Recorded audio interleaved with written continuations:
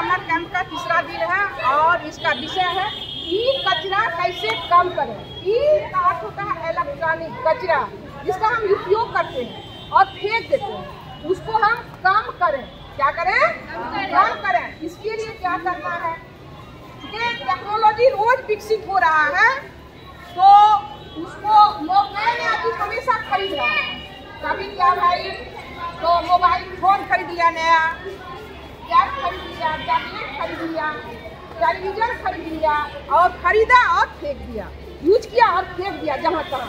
पानी में फेंक दिया, समझ रहे हो ना? नदी में फेंक दिया या धरती पर जहाँ तहाँ। वो क्या करता है? बोलिए बच्चे, वो प्रदूषण होता है। वो पानी को दूषित करता है, धरती को दूषित करता है, जला दिया, वो हवा को दूषित करता है। इसीलिए उसको फेंकना नहीं है। उसको एक अलग जगह में रखना, अलग के लिए रखना है। या तो उसको मरम्मत करके किसी को दे देना है, या दान दे देना है, नहीं तो उसको रिसाइकलिंग में दे देना है। समझ रहे हैं बच्चे? क्या करना है? रिसाइकलिंग में दे देना है। तो इससे क्या होगा? हमारी धरती जो है, वो प्रदूषित नहीं होगी। मिट्टी प्रदूषित नहीं होगी। हवा प्रदूषित नहीं होगा। जल प्रदूषित नहीं होगा।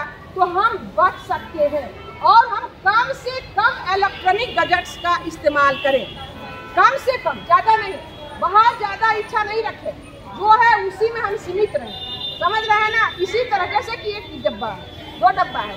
उसमें घर में बनाए हैं, विद्यालय में भी बनाए इस तरह का।